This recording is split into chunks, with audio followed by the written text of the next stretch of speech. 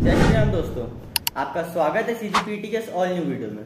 दोस्तों, आज का वीडियो जो है ना, मैं टोटली डेडिकेट करने वाला हूँ अपना हिंदी और इंग्लिश के लिए। देखो, बहुत सारे बच्चे ऐसे हैं जो पूरे साल भर ना ट्वेल्थ के लिए पढ़ाई नहीं किए हैं और उन लोगों को ना सिर्फ़ पास होना ये हम ना, ऐसा कुछ बता दो सर कि सिर्फ़ हम लोग ये ये पढ़ लें और पास हो जाए। ठीक है? कुछ स्पेसिफिक एरिया कोई सेगमेंट है ना, ये सब चीज़ें बता दो तो पास हो जाए। तो आज का वीडियो जो सिंपली है ना, मैं हिंदी और इंग्लिश के लिए बताने वाला हूँ, जिसमें जो मेरा बेसिक कॉन्स्टिट्यूएंट रहने वाला है, वो इंग्लिश के लिए बताऊँगा और हिंदी के लिए सेम टू सेम आपको वही अप्लाई करना है, उसके लिए मैं समझाऊँगा नहीं। ठीक है? क्योंकि आप देखोगे तो हिंदी और इंग्लिश में बेसिकली मार्क्स डिस्ट्रीब्यूशन जो रहता है ना, वो सिमिलर रहता है। तो मार्क्स डिस्ट्रीब्यूशन सिंपल है, आपके 100 मार्क्स का डिस्ट्रीब्यूशन जैसे कि आप देख पा रहे हो स्क्रीन में देखो 80 मार्क्स का आपका रिटर्न पेपर का रहने वाला है और 10 मार्क्स और 10 मार्क्स का दो पार्ट में डिवाइडेड है, जो कि एक रहेगा आपका असाइनमेंट्स का और दूसरा रहेगा आपका वाइवा का। ऐसे 10 मार्क्स और 10 मार्क्स करके आपका वो 20 मार्क्स हो जाता है। और 80 मार्क्स जो रहने वाला आपका रिटर्न पेपर जो आप अटेंड करके आओगे पेपर में, वो आपका अस्सी मार्क्स का रहने वाला है। तो ऐसे ही आपका हिंदी में भी रहेगा, दस मार्क्स का आपका रहेगा वाइवा प्रोजेक्ट और दस नंबर सॉरी दस नंबर का रहेगा वाइवा दस नंबर का प्रोजेक्ट हो जाएगा बीस नंबर और अस्सी मार्क्स का आपका रिटर्न पेपर ठीक है? तो इसमें हम लोग बेसिकली बात करने वाले हैं, इस वीडियो में हम लोग जो रिटर्न पेपर होने वाला है। तो रिटर्न पेपर का आपका पासिंग मार्क्स क्या रहने वाला है? अट्ठाईस से तीस नंबर के ऊपर आपको लाना है तो आप पास हो गए, है ना? सिर्फ़ पासिंग मार्क्स वालों के लिए बता रहा हूँ ना, अच्छे मार्क्स कैसे लाना है, वो अगले वीडियो में बताएँगे। अभी सिर्फ़ पासिंग मार्क्स वालों को। देखो, आपका रीडिंग सेक्शन बेसिकली कंट्रीब्यूट करने वाला है बाईस मार्क्स राइटिंग सेक्शन जो रहने वाला है, वो रहता है अट्ठारह मार्क्स का। और लिटरेचर यानी कि जो आपकी दो बुक्स आपको प्रोवाइड करी गई है स्कूल के द्वारा सीबीएसई के द्वारा। एक होती है आपकी रीडर दूसरी होती है आपकी सप्लीमेंट्री बुक दोनों बुक का मिला करके होता है आपका 40 मार्क्स ऐसे ही हिंदी में भी सेम टू सेम रहता है। आपका 22 मार्क्स का आएगा आपका रीडिंग स्किल 18 नंबर का आएगा आपका राइटिंग स्किल और बाकी जो 40 नंबर है, वो लिटरेचर से आएगा। लिटरेचर यानी कि आपके जो दूसरे सेगमेंट है जिसमें रहता है एक ग्रामर वाला पोर्शन और एक दूसरा रहता है आप लोग का, जो आपकी एक बुक मिलती है रीडर बुक उसमें एक ही रहता है, वो रीडर बुक से आएगा, है ना? तो ये आपके बेसिक कॉन्स्टिट्यूएंट्स रहने वाले हैं कैसे अस्सी मार्क्स आपका डिवाइड होगा। तो जो बेसिक नंबर है, जैसे 28 नंबर 30 नंबर जिसको क्रॉस करना है, उसके लिए सबसे आसान जो अभी से उतना गेन करने का एरिया है, वो होता है राइटिंग सेक्शन क्यों? क्योंकि राइटिंग सेक्शन एक ऐसा सेगमेंट है जिसमें आपको कुछ भी याद करने की ज़रूरत नहीं है। ऐसा कुछ पर्टिकुलर जगह नहीं। इसको आप आराम से एक दिन के अंदर ही पूरा 18 के 18 मार्क्स गेन कर सकते हो। वैसे तो ये लिटरेचर सब्जेक्ट है तो कुछ ना कुछ आपके मार्क्स डिडक्ट होंगे ही होंगे, लेकिन इस 18 नंबर में से आप 15 15 नंबर मिनिमम आप गेन कर सकते हो अगर आप अच्छी तरीके से पढ़ के जाओगे तो। अब बात ये आती कौन कौन सी चीज़ें आपके 18 नंबर में कॉन्स्टिट्यूट करते हैं तो 18 नंबर में आपके पाँच क्वेश्चन आने वाले हैं। कुछ क्वेश्चन रहेंगे चार नंबर के, कुछ रहेंगे पाँच नंबर के। ठीक है? उसमें पाँच क्वेश्चन कौन कौन से हैं? एक रहेगा आपका नोटिस राइटिंग दूसरा रहेगा आपका इन्विटेशन तीसरा रहेगा आपका फॉर्मल लेटर चौथा रहेगा इनफॉर्मल लेटर और एक रहेगा आर्टिकल राइटिंग अब ये 18 मार्क्स कैसे आपको गेन करना है? इसमें मैं आपको आपको फॉर्मेट दिखाऊँगा। फॉर्मेट में कैसे आपको लिखना है, ये दिखा दूँगा, ठीक है? साथ में आपको एक सेगमेंट और बता सकता हूँ मैं। जब ये कंप्लीट हो जाएगा, तब मैं आपको बताऊँगा, ठीक है? जब इतना आप ले आओगे ना, पंद्रह मार्क्स उसके बाद फिर बताऊँगा क्या करना है। देखो सबसे पहले नोटिस राइटिंग की तरफ़ बढ़ते हैं। ये पहला क्वेश्चन है, इसका हम लोग देखते हैं मार्क्स में कितने कितने नंबर का आता है। ये पेपर है सैंपल पेपर सीबीएसई के द्वारा प्रोवाइड किया गया है। कि जितनी भी इंफॉर्मेशन मैं आप लोग को दे रहा हूँ, ये अपने टेलीग्राम ग्रुप जो इंजीनियर एट वर्क है, जिसमें साढ़े छह सौ से ज़्यादा लोग जुड़े हुए हैं, उसमें आप ज्वाइन हो सकते हैं, जिसकी लिंक मैं अपने डिस्क्रिप्शन बॉक्स में प्रोवाइड कर देता हूँ। ठीक है? ये ये जो पेपर है, ये भी मैं उसमें डाल दूँगा अपलोड कर दूँगा तो वहाँ से आप देख सकते हैं कंफर्टेबली इसलिए इस पेपर को आप देखोगे तो इसमें अपन राइटिंग सेक्शन की तरफ़ बढ़ते हैं। तो राइटिंग सेक्शन जो है, वो यहाँ पर है। राइटिंग सेक्शन जो है, हम लोग का बेसिकली देख सकते हो 18 मार्क्स ऊपर में लिखा हुआ है। सबसे पहला क्वेश्चन है, हम लोग का नोटिस राइटिंग नोटिस राइटिंग में दो ऑप्शन आए हैं, या तो ए अटेम्प्ट करो या बी अटेम्प्ट करो।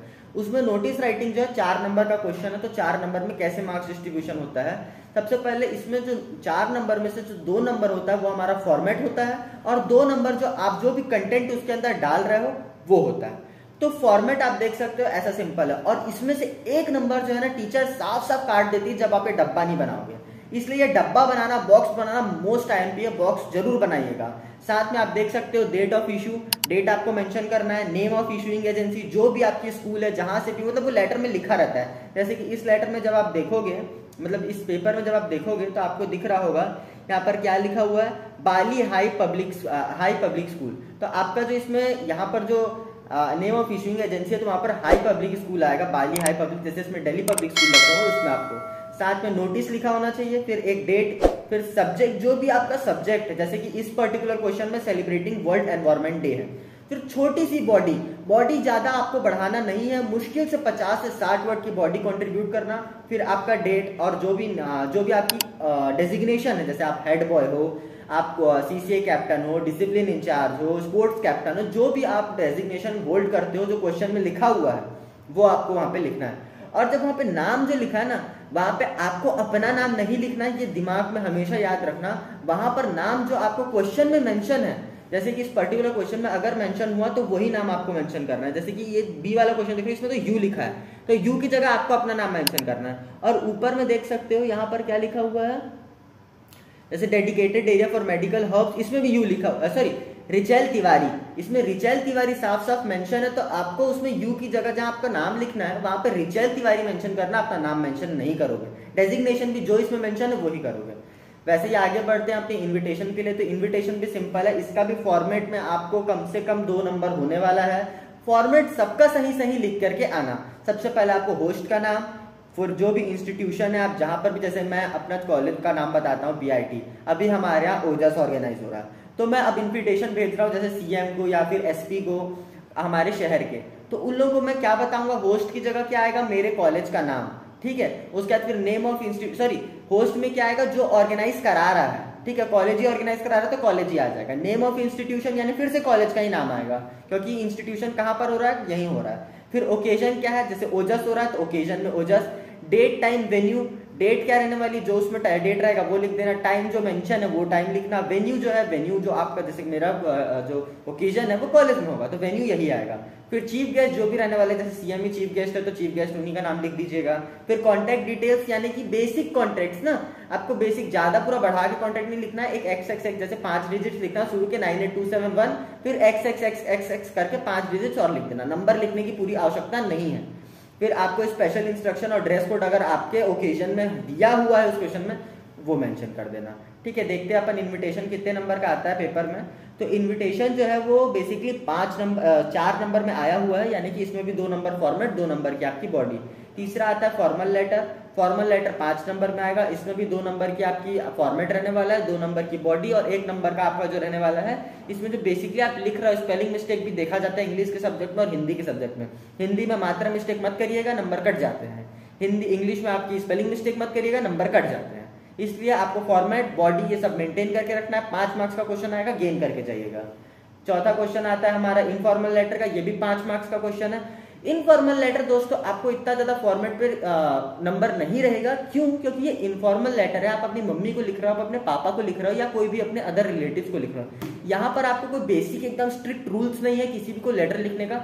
आसानी से आप एकदम सॉफ्ट लैंग्वेज जो आपको लैंग्वेज यूज़ करना है, वो आप लिख सकते हो।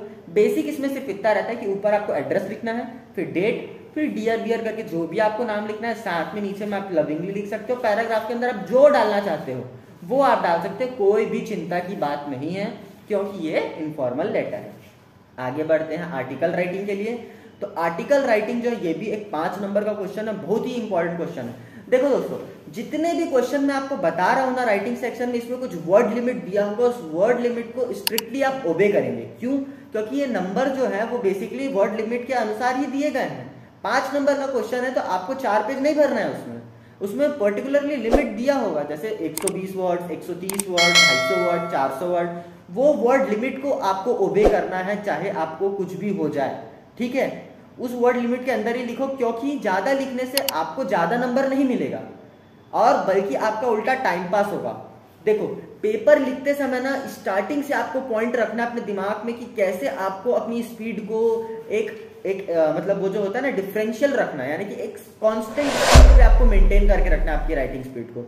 शुरू से तेज लिखेगा ऐसा नहीं कि शुरू आराम से अच्छे से बना बना के लिख रहे हो। आखिरी में जाकर के पेज देख रहे हो तो बहुत ज़्यादा मैसी दिख रहा है। आपको शुरू से एकदम कांस्टेंट स्पीड और एक कांस्टेंट हैंडराइटिंग में लिखना है है ना? जिन लोग पास नहीं हो पा रहे हैं, उन लोगों को तो मेजरली इस चीज़ में ध्यान रखना क्योंकि आपके पास तीन घंटा टाइम है। और तीन घंटे टाइम में आपको इतने को करना है, और साथ में दूसरे भाई बताता हूँ, क्योंकि ये तो सिर्फ़ अट्ठारह मार्क्स का हुआ। दूसरी चीज़ें भी बताता हूँ। देखो, इतना तो हो गया। अब साथ में जो आगे के 18 मार्क्स या 20 मार्क्स आपको गेन करना है पास होने के लिए, वो आपके आएँगे रीडिंग स्किल से। क्योंकि आप लिटरेचर पोर्शन तो पढ़ नहीं सकते टाइम बहुत कम है। लिटरेचर पोर्शन के आ, आपका आता है reading skill. Reading skill 22 number contribute करता है टोटल में है ना? अब आपको वो 22 नंबर को कैसे लाना है? ये सबसे पहले जो आपको आने वाले सेगमेंट है यानी कि राइटिंग सेक्शन से स्टार्ट करिएगा और चारों ही पाँचों क्वेश्चन आपको मैंने बता दिया कैसे अटेंड करना है तो पाँचों क्वेश्चन को चाहते ही साथ लिख देना। मुश्किल से एक घंटा लगेगा वो 18 मार्क्स का आपको लिखने में। अब आपके पास बचे दो घंटे। दो घंटे में आपको रीडिंग स्किल करना है और लिटरेचर करना है। लिटरेचर तो पढ़ के नहीं गए हो रीडिंग स्किल कर सकते हो। रीडिंग स्किल में आपके पास तीन या दो पैराग्राफ आने वाले हैं, दोनों हमारे आठ आठ मार्क्स के हो सकते हैं या दस दस मार्क्स के, देख लेते हैं कितने नंबर के होते हैं। यहाँ पर हमारे पास पेपर है तो पेपर में चलते हैं ऊपर। देखो, बारह मार्क्स का पहला क्वेश्चन है और दस मार्क्स का दूसरा क्वेश्चन है। हो गया कितना? बारह और दस, बीस बारह और दस, बाईस मार्क्स यानी दो क्वेश्चन आ गए, है ना? एक बारह मार्क्स का, एक दस मार्क्स का, ठीक है? अब इसमें देखो, आपको पर्टिकुलर पैराग्राफ दिया हुआ है पैराग्राफ के बाद दस क्वेश्चन बारह क्वेश्चन फिर पैराग्राफ दिया, दस, बारह क्वेश्चन अच्छे से प्यार से पंद्रह, दस मिनट टाइम दो। पेपर शुरू होने से पहले आपको मतलब जब भी बेल रिंग होता है, उससे दस मिनट पहले आपको पेपर दिया जाता है रीडिंग टाइम दिया जाता है। तो उस रीडिंग टाइम में आपको उसी पैराग्राफ को रीड करना है। है ना? ये नहीं कि आप टाइम पास कर रहे हो। एक तो पहले आपने बोर्ड जहाँ पर भी आपको सेंटर मिला, वहाँ पर पहुँच जाओ टाइम से। उसके बाद फिर इस पर्टिकुलर पैराग्राफ को आपको अच्छे से रीड करना है और उसके बाद फिर इसके आंसर जो है, वो आपको लिखना है। दिमाग में सदैव याद रखो, अब आप ट्वेल्थ के बच्चे हो तो जो पैराग्राफ में लिखा है, वो सेम टू तो सेम चीज़ आपको मेंशन नहीं करना है। है ना? कुछ अलग से, कुछ अलग ढंग से अपनी ग्रामेटिकल लैंग्वेज अपना लिटरेचर लगा करके लिखना, तभी आपको मार्क्स मिलेंगे। अगर आप सेम टू सेम उठा करके वही सेंटेंस को नीचे आंसर में लिख दोगे तो आपके टीचर जो है नंबर को डिडक्ट कर देंगे। सेम यही हिंदी वालों को भी है। हिंदी में भी जो अनसीन पैसेज आने वाला है आपका, अनुच्छेद आता है, अनुच्छेद लेखन होता है, वो सबको आपको ऐसे ही करना है। गद्यांश आएगा, एक पद्यांश आएगा। गद्यांश को आपको कैसे करना है? सेम टू सेम हिंदी के लैंग्वेज उठा के नहीं लिखना है, पद्यांश को आपको उठा के नहीं लिखना है। ठीक है? इस तरीके से आप टोटली अपना पासिंग मार्क्स अटेन कर सकते हो।